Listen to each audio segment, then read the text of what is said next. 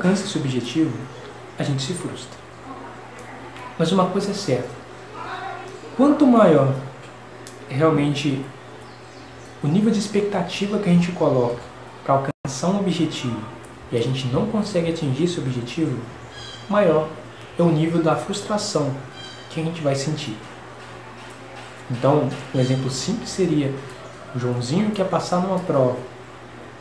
Ele estuda, ele se dedica, ele faz os deveres, ele faz os trabalhos, ele lê, ele estuda, ele convida amigos para estudar junto com ele, ele tem a expectativa muito alta de que ele vai tirar 10 na prova, de que ele irá tirar total na prova.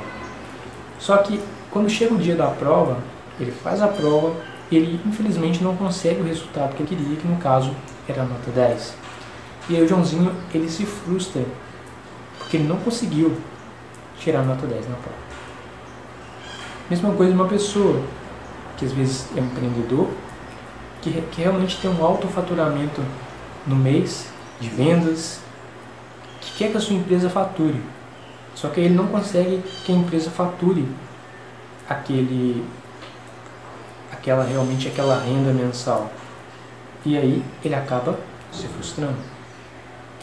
Mesma coisa em um relacionamento amoroso.